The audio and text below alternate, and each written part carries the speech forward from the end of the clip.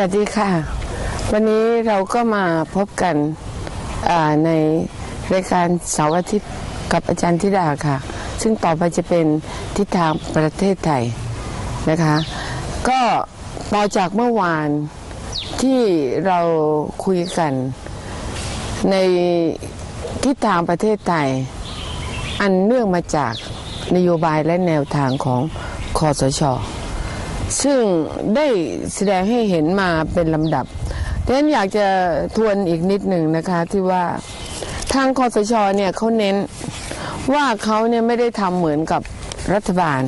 ที่แล้วหรือรัฐบาลอื่นๆ ในแง่ที่ว่าต้องมีหน้าที่สามประการ ก็คือบริหารราชการแผ่นดิน มีหน้าที่ในการปฏิรูปนะแล้วก็สร้างความปรองดอง พูดง่ายๆก็คือ ต้องการแก้ปัญหาประเทศ แล้วก็วางวางเส้นทาง วางถนนตอกเสาเข็มอะไรประมาณนั้น เพื่อที่จะเดินไปข้างหน้าดังนั้นก็เข้าใจถึงความปรารถนาดี แต่อยากจะให้ทางคอสช ได้ได้พิจารณาว่าบางอย่างอะที่เป็นข้อสรุปอาจจะตกผลึกแล้วเนี่ย แต่มันเป็นแง่มุม ของข้อมูลและทัศนะและจุดยืนของคนที่เป็นคนชั้นกลางและชนชั้นนำในสังคมดังนั้นต้องพูดซ้ำอีกครั้งหนึ่งนะซึ่งซึ่งอาจจะขัดแย้งอาจจะนะคะบางนโยบาย อาจจะขัดแย้งกับความคิดเห็นของประชาชนส่วนใหญ่ ดังนั้นเดนจึงต้องการที่จะท้วงติงในลักษณะที่ว่า ไอ้ข้อสรุปหรือแนวคิดอันนี้เนี่ย มันก็ไม่ได้แน่ว่ามันจะถูกต้อง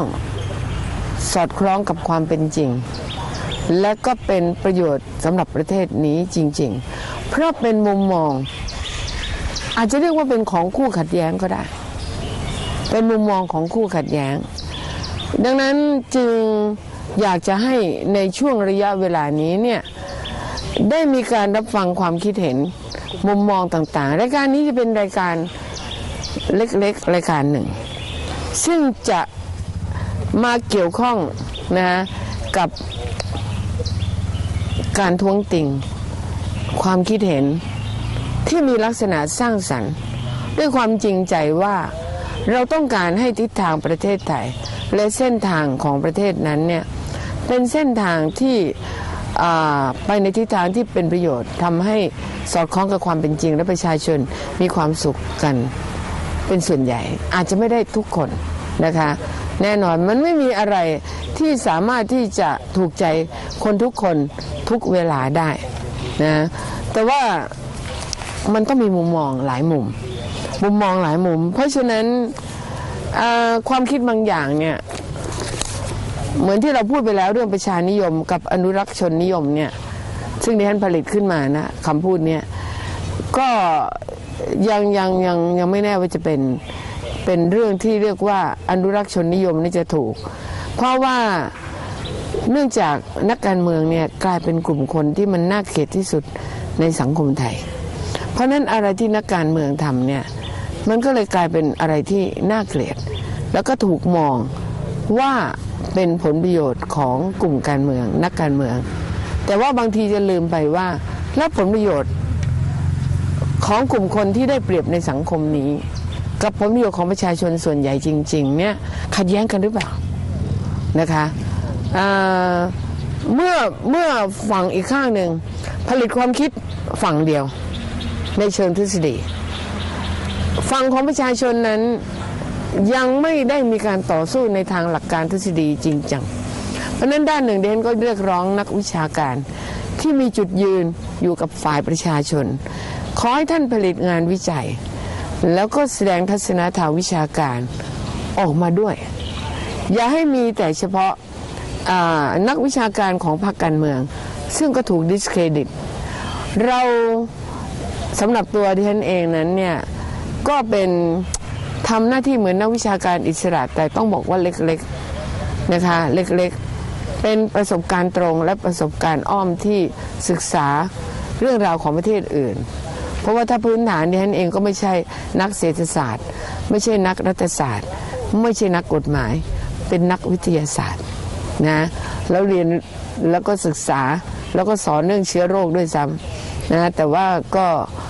อาอาศัยการศึกษา ที่ที่ผ่านผ่านประสบการณ์โดยตรง และจุดยืนที่ต้องการทำทุกอย่าง เพื่อผลประโยชน์ของประชาชนเนี้ยเข้ามาร่วมศึกษาด้วยกันกับ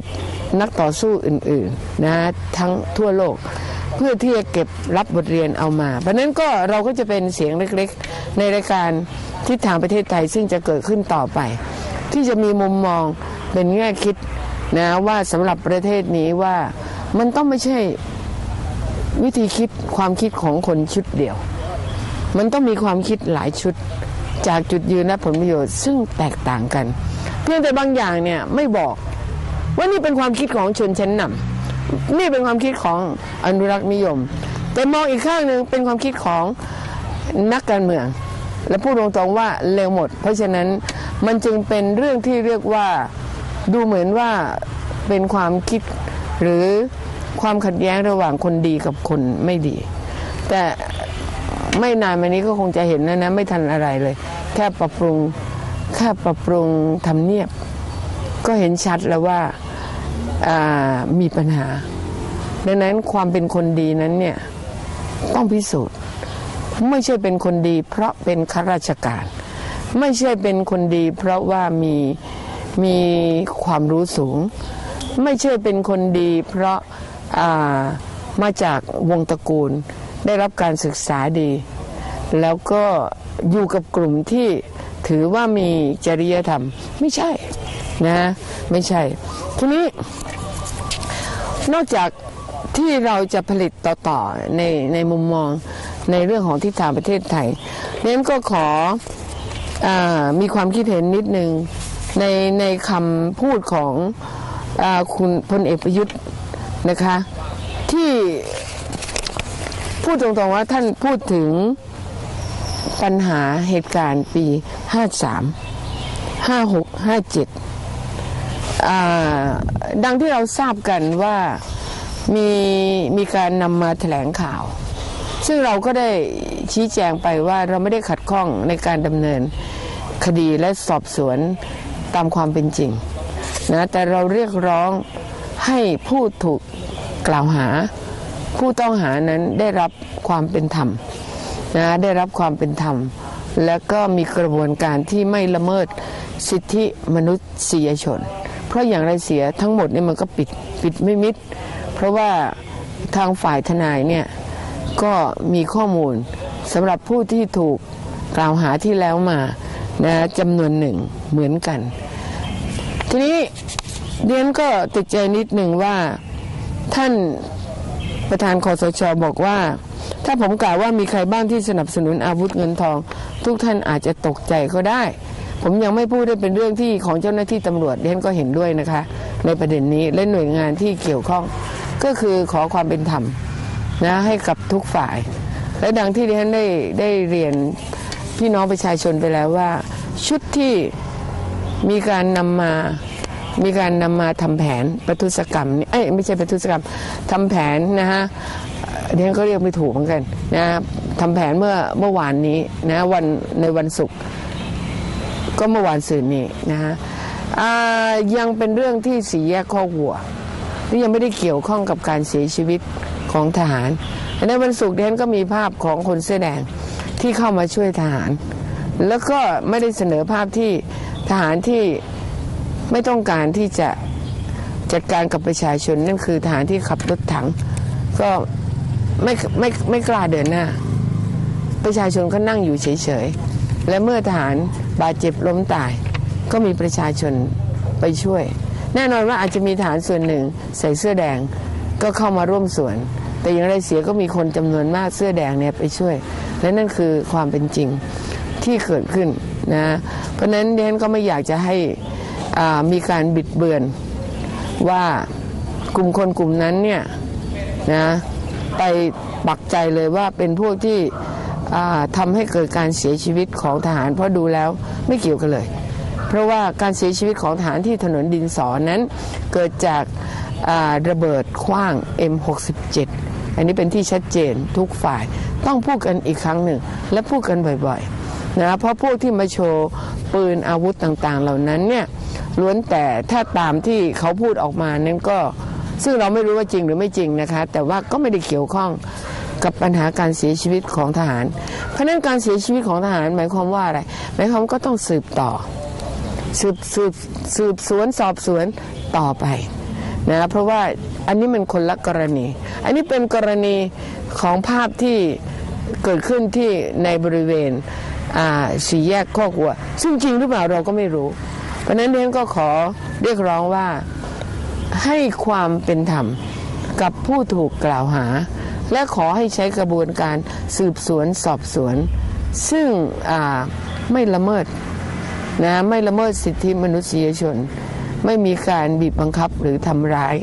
นะก็นี่เป็นคำขอร้องนะแล้วก็ทุกอย่างให้ความจริงนั้นปรากฏนะเอ่อ ไม่อยากที่จะให้มีการบิดเบือนแล้วก็ตกอกตกใจ เอาละค่ะ เราก็มาพูดทิศทางประเทศไทย เมื่อวานนี้เราทิ้งท้ายว่า จะมีนโยบายไหน ที่กลุ่มกลุ่มอนุรักษ์นิยมด้วยกันไม่เห็นด้วยนะคะ ขณะนี้เนี่ยเราก็จะเห็นว่าที่เราพูดกันมานั้นเนี่ยก็คือภาษี ภาษีมรดกนะคะ ภาษีที่ดิน โรงเรือนสิ่งปลูกสร้าง มีนโยบายกระจายอำนาจก็ขัดแย้งกันนะเกี่ยวกับการเลือกตั้งท้องถิ่น ซึ่งดิฉันมองว่าก็มันมีหลายแง่มุมนโยบายกระจายอำนาจนโยบายการเก็บภาษีทรัพย์สินภาษี ที่ดินสิ่งปลูกสร้างนะแล้วก็ปัญหาภาษีสรรพสามิตคือภาษีเนี่ยมันมีภาษีการบริโภค ซึ่งประชาชนเนี่ยทั้งหลายนี่ต้องเสียทั้งหมด ทั้งคนยากคนจนเช่น ภาษีมูลค่าเพิ่ม ภาษีสรรพสามิตบวงบุหรีอะไรต่างๆ เหล่านี้นะคะแต่ภาษีทรัพย์สินเนี่ยเป็นภาษีที่เราทิ้งท้ายไว้ว่า ประเทศไทยเนี่ยคือน้อยที่สุด และมีคนหลายคนเข้าใจผิดว่า ภาษีในประเทศนี้เนี่ยคนรวยจ่าย แล้วก็เกิดความเข้าใจผิดว่า เอาเงินคนรวยมาช่วยคนจน เอาเงินคนรวยมาช่วยคนจน นี่เป็นความเข้าใจที่ผิดนะ ภาษีประเทศไทยเนี่ยภาษีของผู้บริโภค ฐานภาษีทางอ้อม อันได้แก่ภาษีมูลค่าเพิ่ม ภาษีสรรพสามิตเนี่ย อันนี้เป็นเป็นรายได้ที่มากกว่านะ ไม่ใช่ภาษีนิติบุคคล ไม่ใช่ภาษีเก็บภาษีรายได้ เพราะฉะนั้นวาทกรรมที่บอกว่า เก็บภาษีคนรวย แล้วก็เอาไปผลาญช่วยคนจนในประชานิยม เป็นความเข้าใจที่ผิด ภาษีด้านหลักคือภาษีทางอ้อม และภาษีของผู้บริโภค เช่นเหล้ายานะอ่าอ่าเหล้า บุหรีนะภาษีสิ่งฟุ่มเฟือย ภาษีมูลค่าเพิ่ม ภาษีต่างๆ เหล่านี้เนี่ยจะเป็นด้านหลักนะของของการที่เป็นที่มาของรายได้นะทีนี้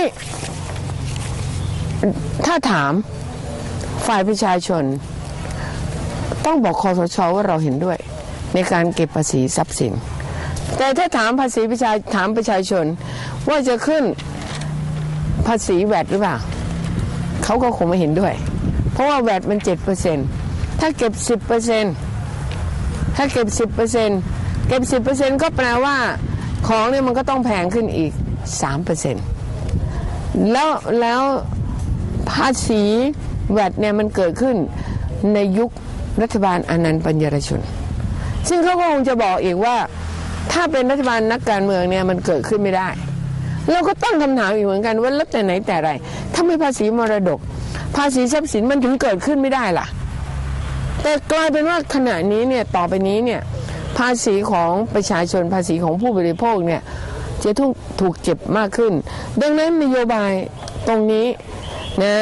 การเก็บภาษีมรดกกับภาษีอของพวกทรัพย์สินถือของที่ดินเนี่ยเราเห็นด้วย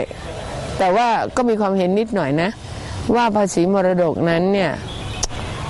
ถ้าเอาห้าสิบล้านเนี่ย ก็คงจะได้เงินไม่เท่าไหร่หรอก เพราะว่าเวลาแบ่งมรดกเขาคงแบ่งให้มีลูกหลายคนก็คนนี้ได้ 20 ล้าน 20 ล้าน หรือไม่งั้นก็ไปให้หลานให้อะไรหมดนะเพราะฉะนั้นผู้รับมรดกที่รับมรดกเกิน 50 ล้านเนี่ย คงมีน้อย มีหมายความว่ามีกับไม่กี่ครอบครัว อาจจะไม่ถึงอาจจะสองสองสามเปอร์เซ็นต์สองสามเปอร์เซ็นต์ของประชากรนะคะ เพราะฉะนั้นถ้าพูดถึงภาษีที่ดินล่ะ การเกษตรถ้าเป็นที่ดินการเกษตรเนี่ยที่เขาเตรียมไว้ก็คือต่ำสุดไม่เกินร้อยละจุดศูนย์ห้าของฐานภาษี ที่อยู่อาศัยไม่เกินร้อยละศูนย์จุดหนึ่ง นะเออถ้าที่ดินรกร้างบ้างว่างเปล่า จะเก็บในอัตราสูงสุดคือ 0.5 ของฐานภาษี หาก 3 ปีไม่ทำประโยชน์จะเป็นจะเพิ่มขึ้นหนึ่งเท่าตัวจนชนเพดานที่2เปอร์เซ็นต์นะคือพูดตรงๆมาถามชาวบ้านนะ ชาวบ้านก็บอกก็เก็บไปเถอะนะแต่ว่าดิฉันอยากจะเพิ่มถามว่าแล้วถือครองที่ดินนะ อ่าสมัยจอมพลปอเขาบอกไม่ให้เกิน 50 ไร่นะแต่ว่าถ้าเราจำกัด 50 ไร่นั้นมีเป็นเรื่องแน่ก็ลองปฏิประนอมดูว่า บุคคลไม่ควรเกินเท่าไหร่เนี่ยร้อยไร่เนี่ยไหวหรือเปล่านะทีนี้ ตรงนี้เนี่ยก็คงจะต้องมีการต่อรองกัน ต่อรองกันนะในทัศนะของเดิฉัน คิดว่าเรื่องนี้เนี่ยประชาชนไม่มีปัญหา มีปัญหาก็คือกลุ่ม ชนชั้นนำพวกมีฐานะเนี่ยแหละ จะยอมหรือเปล่า แล้วอย่าไปคิดว่านักการเมืองจะมีปัญหานะ อย่าอ้างนักการเมืองประเด็นนี้ เพราะนักการเมืองถึงมีที่ดินมาก ก็ไม่ใช่กลุ่มคนชั้นนำที่มีที่ดินมากจริง ๆ นะ เพราะฉะนั้น ฝ่ายประชาชนภาคประชาชนเนี่ยก็มีกฎหมายหลายฉบับ เช่นธนาคารที่ดิน ภาษีที่ดินอัตราก้าวหน้า สิทธิชุมชนหรือโฉนดชุมชน กองทุนยุติธรรม ทั้งหมดเหล่านี้เนี่ยก็เป็นส่วนหนึ่งนี่เป็นส่วนหนึ่งของการจัดการที่ขจัดแก้ปัญหาความเหลื่อมล้ำอยากจะเรียนท่านผู้ชมว่า เราเนี่ยแก้ปัญหาคนยากจนเนี่ยมาได้เป็นลำดับ ตั้งแต่ยุคสมัยของคุณทักษิณชินวัตรนั่นคือถ้ามีเส้นความยากจน เส้นความยากจนในอดีตนานมาแล้วนั่นน่ะของสหประชาชาติมันหนึ่งดอลลาร์ต่อวัน ซึ่งมันก็ 30 บาท มาตอนหลังเนี่ยของถ้าเป็นของธนาคารโลกเนี่ยสองดอลลาร์ต่อวันก็วันละ 60 วันละ 60 ก็แปลว่า 30 วันก็พันแปดร้อยนะพันแปดเขาเรียกว่าเส้นความยากจน ตอนหลังประเทศไทยก็ทำเอง ไว้ในการต่อไปข้างหน้า หลังจากวันที่ 15 จะเอาตัวเลขเหล่านี้มาโชว์ให้ดู แต่ว่าทั้งหมดเนี่ย เราจะบอกให้ให้ท่านผู้ชมทราบว่า ตัวเลขภายใต้เส้นความยากจนเนี่ย คือตัวเลขของคนที่มีรายได้ต่อเดือนต่ำกว่า พันกว่าบาทเนี่ยมันน้อยลงน้อยลงเป็นลำดับ จากเลขสองหลักสิบกว่าล้าน ก็เหลือเลขหลักเดียว ต่ำกว่าสิบล้าน จนประมาณเจ็ดล้านนะคะ ตัวเลขนี้ต่ำลง แต่ถามว่าความเหลื่อมล้ำเป็นยังไง ความเหลื่อมล้ำยังเท่าเดิม ก็คือในขณะที่คนยากจนเนี่ยอาจจะมีรายได้เพิ่มขึ้นก็จริง แต่คนรวยก็รวยขึ้นด้วย แล้วรวยขึ้นมาก เพราะนั้นความเหลื่อมล้ำเนี่ยมันมีมากขึ้นนะมากขึ้นดังนั้นการเก็บภาษีทรัพย์สิน การเก็บภาษีที่ดิน ในอัตราแล้วก็การเก็บภาษีรายได้ ในอัตราที่ก้าวหน้าเนี่ยมีส่วนช่วยลดความเหลื่อมล้ำอันนี้เราเห็นด้วย แต่ถามว่า ก็ต้องตั้งคำถามว่าในอดีตเนี่ยแล้วทำไมมันไม่เกิด เพราะฉะนั้นในขณะที่คิดว่าจะเพิ่มดูทิศทางแล้วนะ จะเพิ่มภาษีผู้บริโภค คือจากภาษีมูลค่าเพิ่ม 7%จะเพิ่มเป็น 10 หรือเพิ่มเป็น 9 เนี่ย แต่ว่าในขณะเดียวกันก็มาเก็บภาษีของผู้มีรายได้สูง ผู้มีฐานะดี ก็ยังก็คิดว่าก็ยังยังดีไม่ได้คิดข้างเดียว อย่างในอดีตเนี่ยเอาพูดตรงๆว่าพรรคการเมืองบางพรรคหรือว่าในอดีตเป็นต้นมาเนี่ยกลุ่มชนชั้นนำอนุรักษ์นิยมไม่เคยผลิตนโยบายในการเก็บภาษีก้าวหน้า มันไม่ผ่านเลย เพราะนั้นเราก็ตั้งคำถามว่าแล้วมันจะผ่านหรือเปล่า มันจะผ่านหรือเปล่าเพราะฉะนั้นคอสชก็ต้องไปพิจารณา ด้วยว่ามันจะผ่านไหมนะมันจะผ่านไหม แต่ฝ่ายประชาชนนั้น ก็เอาใจช่วยแหละ ว่าถ้าภาษีรายได้ที่ก้าวหน้า ภาษีที่ดินภาษีมรดก ภาษีทรัพย์สินเนี่ยเราก็เห็นด้วยนะและนี่จะเป็นส่วนหนึ่งที่ที่ทำให้ความเหลื่อมล้ำลดลง แต่นักวิชาการมองปัญหานี้อย่างไรนะเอาเฉพาะบางส่วนนะคะ กฎหมายภาษีที่ดินมีโอกาสเกิดได้เนี่ยอาจารย์วิโรธพูดนะคะอย่างคอสชก็มีแนวคิดแบบทหารก็คือจัดระเบียบ เขาจึงอาจมองว่าภาษีที่ดินก็เป็นเครื่องมืออันหนึ่งที่มาจัดระเบียบนักการเมืองได้ อันนี้ความคิดอาจารย์วิโรจน์นะ ไม่ใช่อาจารย์ธิดา เพราะนักการเมืองก็เป็นผู้ถือครองที่ดินรายใหญ่ อันนี้อาจารย์ไม่ได้มองว่านักการเมืองถือครองที่ดินรายใหญ่ เป็นส่วนหนึ่ง แต่อยู่ในระดับกลางๆ ไม่ใช่รายใหญ่ ณะที่รัฐบาลเลือกตั้งอย่างกรณีคุณกรก็พูดขอเครดิตว่า เคยทำตั้งแต่รัฐบาลประชาธิปัตย์เราเราไม่เคยเห็นผลงานและไม่เคยเห็นเขาพูดกันเลย คือพูดแต่ไม่ทำคล้ายๆที่คุณอาจิตาบอกว่าดีแต่พูดนั่นแหละนะถ้าเทียบสองตัว อาจารย์วิโรจน์บอกระหว่างภาษีที่ดินกับภาษีมรดก ประชาธิปัตย์คงเลือกภาษีที่ดินมากกว่า เรื่องกฎหมายที่ผลักดันมากกว่าคือเรื่องโฉนดชุมชนนะคะ ส่วนอาจารย์ดวงมณีบอกว่า แม้พลเอกประยุทธ์ จะพูดหลายครั้งเรื่องภาษีที่ดิน แต่ก็ยังวางใจไม่ได้ เพราะว่าอยู่ที่การจัดลำดับความสำคัญว่าจะเอาอะไรเข้าไปก่อนหรือหลังในสภานะคะ นี่นี่นี่อันนี้ก็เป็นภาพที่มองว่า คือพูดอะพูดได้แต่ตอนทำเนี่ยมันไม่ง่าย นะมันไม่ง่ายเลย นอกจากจะถูกคัดค้าน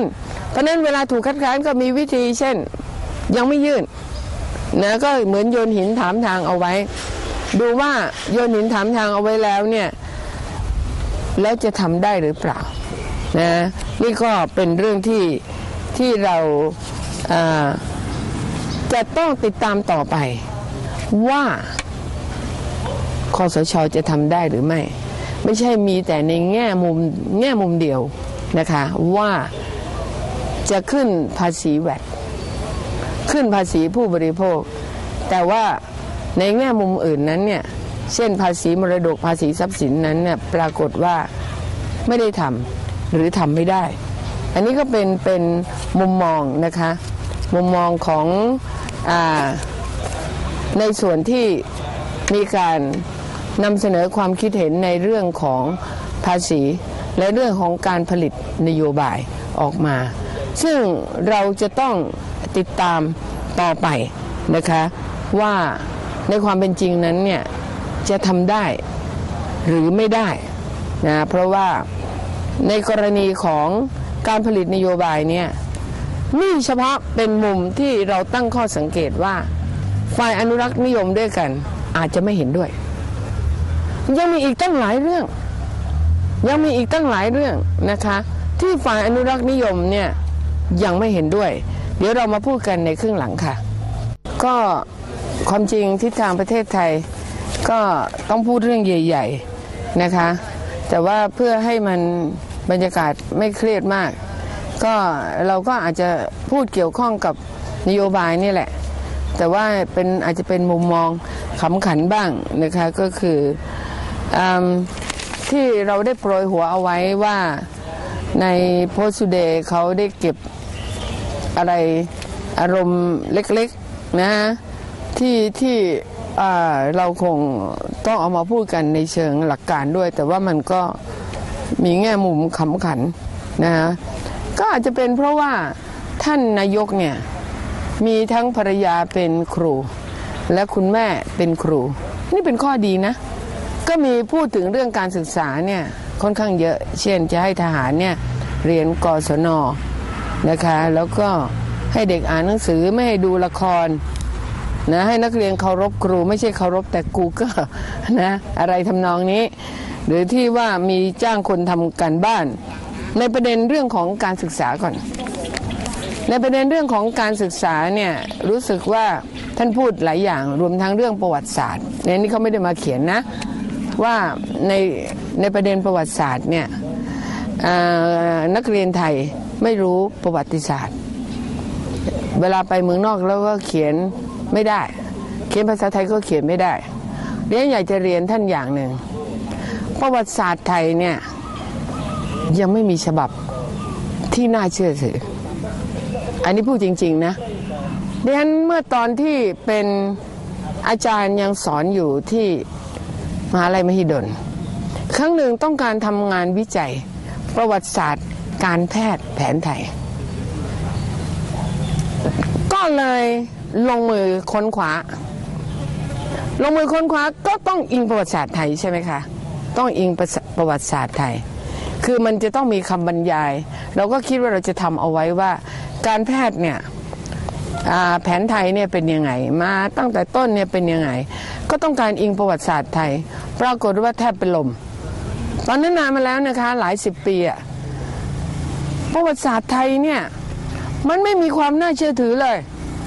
พูดตรงๆว่าเอามาเขียนเป็นเป็นเป็นงานเขียนไม่ได้เลย เขียนไม่ได้เลย เพราะฉะนั้นที่ท่านคิดนะว่าประวัติศาสตร์ไทยต้องมีแบบฉบับ เช่นอ่า มีเรียงลงมานะว่าสุโขทัยอยุธยาอะไรอย่างนี้เนี่ย จริง ๆ มันมันไม่ใช่อย่างนั้น เพราะอะไรไหมฮะเพราะว่าวิธีคิดของของอคนชนชั้นนำในสังคมไทยมาตั้งแต่ต้นเนี่ยทำให้การเขียนประวัติศาสตร์เนี่ยมันเป็นการเขียนประวัติศาสตร์แบบฉบับของ ผู้ปกครองที่มีลักษณะอนุรักษ์นิยม แต่ว่าความเป็นจริงของประวัติศาสตร์ไทย เช่น ก็มีการถกเถียงกันว่ามาจากเทือกเขาอันไตแล้วกลายเป็นเรื่องตลกไปละนะของคุณวิจิตมาตรานะว่าคนไทยมาจากเทือกเขาอันไตไปดูเถิด ไม่มีทางเลยที่จะมีใครไปอยู่ได้นะแล้วก็อพยพมาเป็นลำดับนะอันเนี้ยนะจนกระทั่งก็มีการค้นพบว่า มีคนไทยอยู่ที่นี่มากมาย เรื่องนี้คุณสุจิตวงเทศนะคะ ก็จะให้คำตอบได้ดี ความจริงอาจารย์ชานวิทย์ คุณสุจิตวงเทศเนี่ยดังนั้นอยากจะแนะนำนะ แต่ท่านคงไม่เอาหรอก ก็คือว่าให้กลุ่มนักวิชาการเหล่านี้เนี่ยเขามาช่วยกันทำคือประวัติศาสตร์เนี่ยมันไม่ได้มีแบบเดียว มันมีประวัติศาสตร์ของอพระมหากษัตริย์ มีประวัติศาสตร์ของแคว้น มีประวัติศาสตร์ของประชาชน ยกตัวอย่างเช่นล้านนาเขาก็มีประวัติศาสตร์นะภาคอีสานก็มีประวัติศาสตร์นะตอนตอนตอนนี้ฉันถูกเอาไปไว้ที่อ่าอ่าค่ายทหารไปเห็นหนังสือเล่มหนึ่ง พูดถึงเรื่องพระที่อยู่สายธรรมยุทธ์ก็ได้ประวัติศาสตร์ของภาคอีสานมาด้วยนะก็ก็อ่านแล้วก็ชอบมาก นะเพราะนั้นประวัติศาสตร์เนี่ยมันมีหลายฉบับ มันไม่มีประวัติศาสตร์ฉบับใดฉบับหนึ่ง เอายกง่ายๆยังไม่ต้องเป็นประวัติศาสตร์นะ แค่มุมมองของเหตุการณ์เนี่ยตั้งแต่ยุคคุณทักษิณและการทำรัฐประหาร ในยุคของพลเอกสนธิบุญยรัตน์กลินมาจนถึงปัจจุบัน ถ้ามีคนเขียนนะ ไม่เหมือนกัน ไม่เหมือนกัน มุมมองไม่เหมือนกัน ทุกวันนี้ยังมาเถียงกันเรื่องปัญหาชายชุดดำปัญหาเรื่องการปราบปรามประชาชน หมายความว่าอะไรหมายความว่าประวัติศาสตร์ก็มีมุมมอง เพราะฉะนั้นดีที่สุดเนี่ยก็คือว่าให้มีหลากหลายความคิดออกมา ประวัติศาสตร์ก็มีหลายฉบับนะแต่ฉบับที่ มีนักวิชาการอย่างยกตัวอย่าง เช่น ที่เพิ่งเขียนออกมาที่ของสำนักพิมพ์มติชน ก็จะเป็นส่วนหนึ่งของเศรษฐศาสตร์การเมืองหรือเปล่านะคะมีนักวิชาการจำนวนมากก็เขียนก็มีหลายอย่าง เพราะฉะนั้นมันจะไม่มีประวัติศาสตร์ฉบับเดียวนะอาจจะไม่มีบางคนอาจจะเรียงรู้ว่ามีราชวงศ์กี่ราชวงศ์ในสมัยอยุธยา แต่มันไม่ง่ายอย่างนั้น จากสุโขทัยมาต่ออยุธยาแล้วมาต่อธนบุรีแล้วมาต่อรัตนโกสินทร์แต่ไม่รู้เรื่องอื่นเลย อย่างนั้นก็ไม่ใช่ประวัติศาสตร์นะคะ อันนี้ก็ฝากเอาไว้ในประเด็นของประวัติศาสตร์สนับสนุนพลทหารในเรียนกศนก็เห็นด้วย แต่เรียนว่ากศนก็ต้องไปต้องไปปรับปรุงนะ เพราะว่าประชาชนที่มาเรียนกศนนั้น เรียนแล้วเพื่ออาวุธหรือเอาความรู้ ถ้าเรียนอาวุธเนี่ยแป๊บเดียวก็ได้ละ เดี๋ยวก็เดี๋ยวก็ได้มสามเดี๋ยวก็ได้มมหกนะคือคือเรียกว่าที่เขาเรียนกันเป็นสิบสิบปีเนี่ยผ่านกศนปีสองปีเท่านั้นน่ะได้วุฒิมาเป็นลำดับ จึงต้องตั้งคำถามว่าเรียนอาวุธหรือเรียนเอาความรู้ดิฉันไม่ได้ขัดข้องเรื่องอาวุธ แต่ต้องมีความรู้ด้วย เพราะฉะนั้นกศนก็ต้องปรับปรุง นะไม่ใช่ได้วุฒิเร็วแล้วปรากฏว่าเมื่อไปต่อขั้นอุดมศึกษา ขั้นมหาวิทยาลัยนั้นเนี่ยก็ไปไม่รอดนะไปไม่รอด แต่ว่ามีวุฒิมีวุฒินะทำให้มีกำลังใจ มีความภาคภูมิใจก็เห็นด้วย แต่ต้องมีความรู้ด้วย เพราะฉะนั้นไม่ใช่ประเภทที่เรียกว่าจ่ายเงินตั้งแต่กศนไปจนถึงมหาวิทยาลัย จ่ายเงินแล้วได้แน่นะจ่ายเงินแล้วได้แน่ เพราะฉะนั้น ก็ไม่ว่าจะเป็นกศนหรือที่ท่านออกมาวิพากษ์วิจารณ์เรื่องปริญญาตรีเรียนว่าท่านพูดต่อไปถึงปริญญาโทปริญญาเอกได้เลย เพราะว่าขณะนี้มีการจ้างคนทำวิทยานิพนธ์เป็นแถวเลยค่ะ ทั้งหมดเนี่ยก็คือปัญหาการเอาวุธนะเพื่อมาประดับหรือเอาความรู้ หรือเอาความรู้นั้นไปใช้ประโยชน์จริงหรือเปล่า เพราะฉะนั้นในการศึกษาเนี่ยตรงนี้ถ้าพูดแล้วก็ต้องพูด ไปให้หมดนะคะให้นักเรียนเคารพครู ไม่ใช่เคารพแต่กูก็ก็ก็ขำขันนะ แต่ว่ามันก็คำถามว่าครูต้องให้ความรู้นะ ครูไม่ใช่ไม่ใช่แท่ง แท่งอะไรสักแท่งหนึ่งกูก็น่ะ ถ้าเขาจะเคารพก็แปลว่า เข้าไปแล้วมันได้ความรู้ แต่ครูนั้นเนี่ยก็ควรจะได้ความรู้ไม่จำเป็นต้องเท่า Google แต่ว่าต้องมีพอประมาณนะคะเพราะฉะนั้นเนี่ยในการปรับปรุงการศึกษาในทัศนะของดิฉันนะฮะก็คือพูด อันนี้แค่กิมมิกเล็ก ๆ นะ ยังไม่พูดเป็นระบบ ครูก็ต้องทำให้ได้ความเคารพด้วยเหมือนกันเพราะการบังคับให้นักเรียนเคารพครู แต่ว่าถ้าครูมีปัญหามากเนี่ย ก็ไม่สามารถที่จะบังคับจิตใจนักเรียนได้เหมือนกันนะคะห้ามติดรูปพลเอกประยุทธ์ข้างถนนดิฉันก็ เออ อันนี้ก็ก็เห็นด้วยอยู่หรอกนะ แต่ว่าถ้าไม่ติดข้างถนนเขาอาจจะไปติดที่อื่นก็ได้นะคะ เพราะนั้นความหมายจริง ๆก็คือว่าต้องไม่ใช่ลัทธิเอาบุคคล ต้องเอาหลักการในทัศนะของดิฉันนะฮะก็คือว่า ไม่ติดรูปพลเอกประยุทธ์แต่ติดรูปคนอื่นนะสำหรับดิฉันเอง ติดรูปใครดิฉันไม่เคยเห็นด้วยทั้งนั้นนะเพราะว่าดิฉันเห็นด้วยกับหลักการมากกว่าบุคคล และขณะนี้ความขัดแย้งของเราเนี่ยมันมาถึงจุดสำคัญตรงที่ว่า เอาบุคคลสำคัญกว่าหลักการ เกลียดก็เกลียดบุคคล เช่นไม่ชอบประชาธิปไตย เพราะกลัวว่าคุณทักษิณนี่จะกลับมามียกตัวอย่าง เป็นต้นนะรักก็ต้องไม่รักบุคคล เกลียดนะคือนี่เป็นเรื่องส่วนตัวได้ คุณรักคุณชอบนะหรือคุณเกลียดในส่วนตัวได้ แต่ว่าสำหรับประเทศชาติไม่ได้ เพราะฉะนั้นที่บอกว่าห้ามติดรูปพลเอกประยุทธ์ข้างถนนเนี่ย อืม ก็เห็นด้วยนะแต่ว่าอ่ามันไม่ใช่แค่เรื่องติดรูป มันเป็นปัญหาเรื่องของ ระหว่างหลักการกับบุคคลนะระหว่างหลักการกับบุคคล ซึ่งต้องไปให้ไกลกว่าการติดรูปนะอ,อ,อันนี้ก็เป็นเป็นส่วนหนึ่งที่ที่เรามีการพูดคุยกัน อีกส่วนหนึ่งที่เห็นด้วยนะคะ แต่ว่าไม่ได้เห็นด้วยทั้งหมด คือเห็นด้วยเรื่องสร้างหมอให้มากขึ้น แต่ว่าการไม่สร้างโรงพยาบาล ไม่สร้างโรงพยาบาลเพิ่มแต่สร้างหมอให้เยอะ ก็คือสร้างตามความเป็นจริงอะนะสร้างความเป็นจริง เพราะว่าถ้าสร้างแล้วไม่มีบุคลากร ก็ไม่มีประโยชน์เหมือนกันนะคะ สร้างหมอให้ให้เยอะนี่เห็นด้วย แล้วไม่ใช่หมออย่างเดียวนะคะ ก็บุคลากรขั้นรองลงมา เช่นพยาบาลนะก็ก็ต้องผลิตให้มาก การผลิตพยาบาลและแพทย์ให้มากเนี่ย เป็นเรื่องที่สำคัญสำหรับประเทศนี้ และในความเป็นจริงนั้นเนี่ยในประเทศไทย บุคลากรทางการแพทย์เนี่ยของเราเนี่ยต้องถือเป็นบุคลากรชั้นหนึ่งนะคะต้องถือว่าเป็นบุคลากรชั้นหนึ่งเป็นบุคลากรชั้นหนึ่งในในประเทศนี้และได้รับการยอมรับ เราถึงเห็นเรื่องอุ้มบุญ เราเห็นถึงเห็นเรื่องที่ว่าสิงคโปร์ต้องมาซื้อโรงพยาบาลเอกชนเรา เพราะต้องการที่จะเอาชุดการบริหารจัดการ และแพทย์ที่มีความสามารถนั้นน่ะไปเป็นแบบอย่างในประเทศสิงคโปร์ด้วย เพราะฉะนั้นความนิยมในในยุคสมัยหนึ่ง แม้กระทั่งถึงปัจจุบัน ที่ว่าคนเก่งต้องเรียนแพทย์นั้นน่ะในทัศนะของดิฉันนะฮะ ไม่ต้องเก่งสุดก็ได้ ที่เรียนแพทย์นะเพราะว่าคนที่เรียนแพทย์นั้นต้องอาศัยความขยัน ความอดทน ไม่ต้องหัวยอดเยี่ยมเดี๋ยวยังอยากให้คนที่หัวยอดเยี่ยมเนี่ย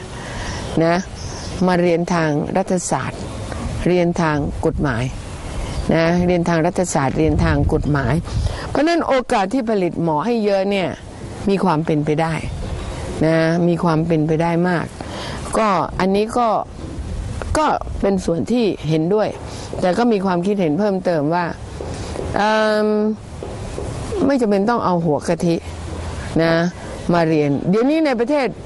ยกตัวอย่างเช่นในสหรัฐเนี่ย คนเก่งสุดก็ไม่ได้มาเรียนแพทย์นะคะ แล้วขณะนี้คนเก่งในประเทศไทยก็ไม่อยากเรียนแพทย์ เรียนไปแล้วเลิกเรียนก็มีเยอะ เพราะว่างานมันหนักมากรายได้น้อย มันไม่เหมือนกับการเรียนอย่างอื่นนะโดยเฉพาะอย่างยิ่งแม้กระทั่งวิศวะก็เหมือนกัน ก็กลายเป็นว่ามาเป็นวิศวะการเงินกันเป็นแถว เพราะนั้นภาคที่เกี่ยวข้องกับการเงินการธนาคารเนี่ยทำรายได้สูงนะเพราะนั้นในส่วนการแพทย์เนี่ยเขาทำรายได้ต่ำแน่นอนมันจึงส่วนหนึ่งจึงไปอยู่โรงพยาบาลเอกชน ส่วนหนึ่งจะมาทำอุ้มบุญ เพราะว่าเงินเดือนแพทย์เนี่ยรายได้ทางแพทย์เนี่ยมันไม่ได้สูง ก็ก็ให้กำลังใจว่าไม่จำเป็นต้องเอาคนหัวกะทิมาเรียน สามารถผลิตแพทย์ได้มาก ผลิตพยาบาลได้มากนะสำหรับประเทศไทยนะขอแต่เพียงว่าให้มีมาตรฐานการผลิตสูง ในอดีตนั้นเนี่ยเรามีครูแพทย์ที่ไปไปศึกษาต่อนะในในต่างประเทศ ที่ในระดับหัวกะทิ ต้องถือว่ายอดเยี่ยม แล้วที่มันดีที่สุดส่วนหนึ่งก็คืออะไร ดีที่สุดส่วนหนึ่งก็คือว่าาวิชาที่เขาเรียกวิชาพรีคลินิก เป็นวิชาก่อนที่จะเป็นหมอที่รักษาเนี่ยในสมัยนั้นมันมีสงครามเวียดนามสหรัฐเนี่ยก็ส่งครูที่สอนวิชา คล้ายๆ ที่อาจารย์ทำอยู่เนี่ยก็คือวิชาเกี่ยวกับวิทยาศาสตร์การแพทย์นะพรีคลินิกก่อนจะเป็นคลินิกเนี่ยเกี่ยวกับเภสัชวิทยา จุลชีววิทยา สรีระวิทยา กายวิภาควิทยาอะไรต่างๆ เหล่านี้เนี่ยสำคัญมาก ตอนนั้นได้มาปูพื้นฐานได้ดี เป็นรากฐานแล้วก็ประเทศไทยเนี่ยคนเก่งเนี่ยต้องการมาเรียนแพทย์ แต่ปัจจุบันเนี่ยรายได้ของแพทย์เนี่ยต่ำลง และนี่ก็นำมาสู่ความขัดแย้ง ถามว่าแพทย์จำนวนมากในประเทศไทยทำไมถึงไม่เห็นด้วยกับ 30 บาท รักษาทุกโรค แล้วก็แพทย์จำนวนมากในประเทศไทยนั้นเนี่ยก็ต้องไปทำงานโรงพยาบาลเอกชนนะ แล้วก็รวมกระทั่งกรณีอุ้มบุญ เพราะว่าแต่ละรายนี่มันมันทำเงินได้เยอะนะเพราะว่าในประเทศไทยนั้นเนี่ยถ้าคุณเป็นแพทย์ธรรมดา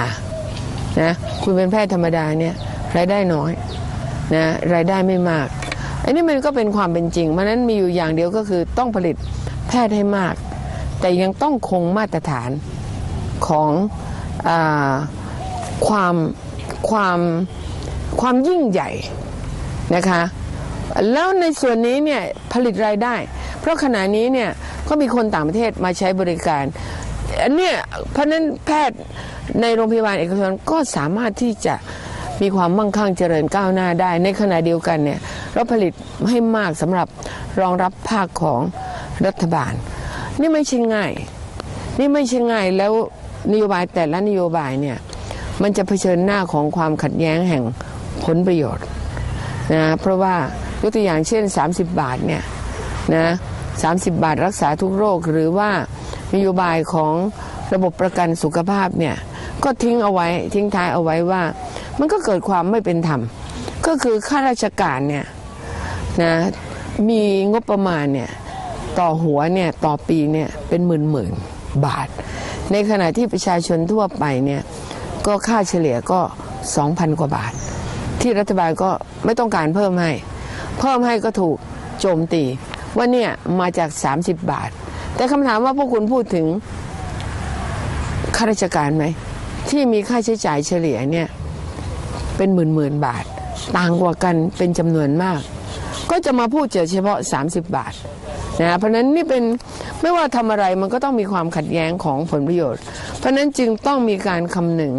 ให้รอบด้านคำนึงให้รอบด้านและมีนโยบายจำนวนมาก ซึ่งเป็นมุมมองของปัญญาชนอนุรักษ์นิยมเนี่ยด้านเดียว ไม่ได้เป็นมุมมองจากประชาชน จึงอยากจะให้ประชาชน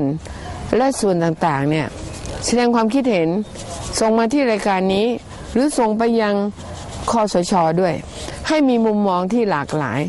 และเราก็ไม่อยากจะให้ทางคอสช ได้เข้าใจว่าที่คิดเอาไว้นั้นเนี่ยถูกต้องที่สุดแล้วทั้งหมด เหตุผลเพราะว่าเราเข้าใจว่ายังมีมุมมองที่ยังไม่รอบด้าน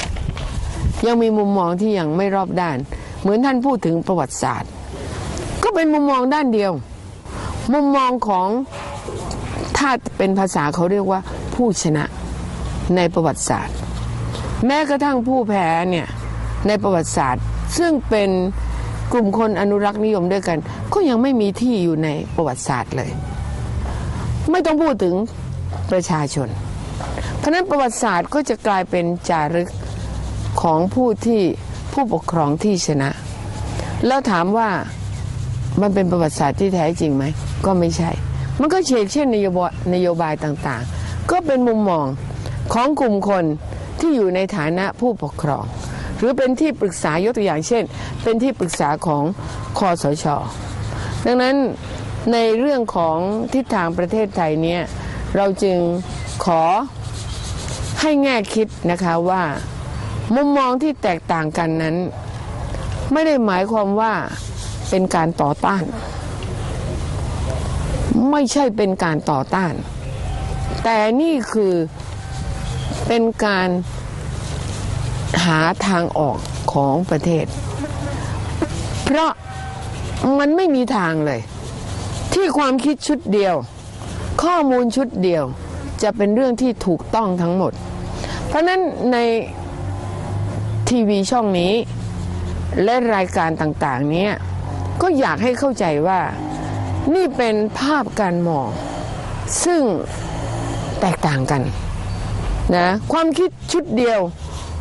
ซึ่งตกผลึกของกลุ่มคนจำนวนหนึ่ง ส่วนมากเป็นปัญญาชน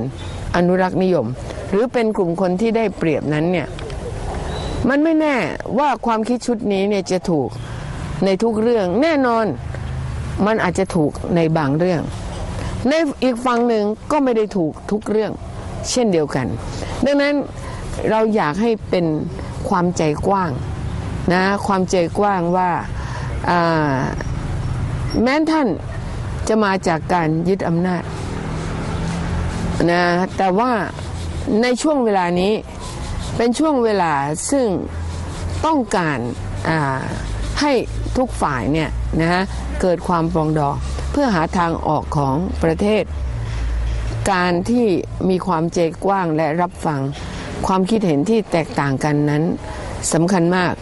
แต่ถ้าหากว่ามองว่าใครที่คิดแตกต่าง เป็นฝ่ายต่อต้าน เราก็ไม่เห็นด้วย และเราก็จะมองว่าอาจจะทำให้การหาทางออกประเทศ และการปรองดองนั้นเกิดปัญหา เพราะว่าสำหรับเรานั้นจริงใจ แม้กระทั่งมีการที่มีข่าวคราวนะว่าคนเสื้อแดงบ้าง หรือนอปชบ้าง เกี่ยวข้องกับการใช้ความรุนแรง เราก็ยังต้องการยืนยันอีกครั้งหนึ่งว่า โดยเฉพาะอย่างยิ่งนะ ประชาชนฝ่ายประชาธิปไตย ที่นำโดยนปชนั้นเนี่ยเป็นกลุ่มคนที่ต้องการหาทางออกของประเทศ ที่เราถือว่าการไม่ใช้ความรุนแรง การใช้สันติวิธีนั้นเนี่ยเป็นเรื่องที่เราต้องยืนยันครั้งแล้วครั้งเล่า แต่เราก็เข้าใจว่ามีคนคิดต่างกัน และมีคนมองต่างกัน เพราะฉะนั้นความแตกต่างเนี่ย และรายละเอียดเนี่ยจึงเป็นเรื่องที่สำคัญมาก ไม่ต้องการให้มีการเหมารวมนะเป็นความคิดชุดเดียว มีความถูกต้องอย่างเดียว เราก็ไม่ได้บอกว่าสิ่งที่เราคิดนั้นถูกทั้งหมด แต่เราควรจะเป็นช่องทางหนึ่งที่นำเสนอ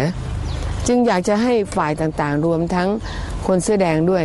ดังที่เราบอกว่าให้มีความอดทน ไม่ใช่อดทนต่อสถานการณ์ แต่หมายความว่า ให้เราอดทนต่อความคิดที่แตกต่างกัน เพราะทั้งหมดนี้ก็คือคนไทย ที่จะต้องช่วยกันทำให้ประเทศนี้เนี่ยก้าวไปข้างหน้า นี่เป็นข้อเรียกร้อง เพราะว่าถ้าเราไม่อดทนต่อความคิดที่แตกต่างกันเนี่ยสิ่งที่เราจะต้องเผชิญกันก็คือการรบราฆ่าฟันต่อไป และเราก็เรียกร้องมาอย่างผู้ที่ มีอำนาจรัฐาธิปัตย์ในปัจจุบันว่าสิ่งสำคัญที่สุดในขณะนี้ก็คือความยุติธรรม และยอมรับความคิดเห็นที่แตกต่างกัน ถ้าสิ่งเหล่านี้เกิดขึ้น ความยุติธรรม และสามารถยอมรับความคิดเห็นที่แตกต่างกันได้ เราก็เชื่อว่ารถแมพที่ท่านได้วางเอาไว้นั้นเนี่ยท่านก็สามารถบรรลุได้ แล้วก็น่าจะเป็นการปูทาง ที่รัฐบาลต่อไป ที่มาจากการเลือกตั้งของประชาชนนั้น สามารถที่จะประสานกับสิ่งที่ทำอยู่แล้ว ได้อย่างราบรื่น และประชาชนก็จะได้เรียนรู้ว่าในระหว่างหนึ่งปี ที่มีการยึดอำนาจนั้นเนี่ยสามารถที่จะแผ่วถางทางได้เหมือนกันนะถ้าประชาชนมีส่วนร่วมตั้งแต่วันนี้ แต่ถ้าท่านถ้ารอ ให้มีการเลือกตั้งและให้ประชาชนมีส่วนร่วมตอนนั้น เรามองว่ารอยต่ออันนี้เนี่ยมันไม่น่าจะไปกันได้สนิทดังนั้นดังนั้นความคิดที่แตกต่างกัน แล้วการเรียกร้องอความยุติธรรมจึงยังเป็นข้อเสนอของเรา โดยเฉพาะอย่างยิ่งในทิศทางประเทศไทย จะเป็นข้อเสนอที่สร้างสรรค์จริงใจ เพื่อหาทางออกของประเทศ โดยขอให้ประชาชนส่วนต่างๆ นั้น ได้ร่วมส่วนกับเรา ในการหาทางออกประเทศไทย อย่าให้เป็นคนละช่วงเวลา แล้วเกิดทิศทางที่คนละอย่างกัน ถ้าร่วมถ้าฟังก็ต้องทำกันตั้งแต่วันนี้เพื่อให้การเดินหน้านั้นเนี่ยสามารถเป็นไปได้ราบรื่นค่ะ วันนี้ก็คง เวลาก็หมดแล้วนะคะ ก็สัปดาห์หน้าก็คงมาพบกันอาจจะได้ใช้สตูดิโอนะซึ่งก็จะสามารถมีแผนภูมิได้ แต่เราก็คิดว่าวันนี้ก็เปลี่ยนบรรยากาศก็ดีเหมือนกันค่ะ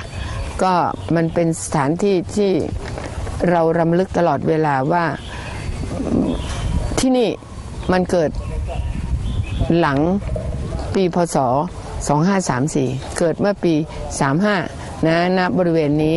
ก็เราถือว่าเป็นสัญลักษณ์ของการที่ประชาชนได้ต่อสู้กับเหตุการณ์ในการทำรัฐประหารครั้งนั้นแล้ว มันไม่ได้บรรลุตามเป้าหมายที่ตามที่ได้ตกลงกันเอาไว้ ก็เป็นเรื่องเล็กๆนะฮะก็เปลี่ยนบรรยากาศ เราก็มาพบกันอาทิตย์หน้าในเวลาเดิมค่ะ สวัสดีค่ะ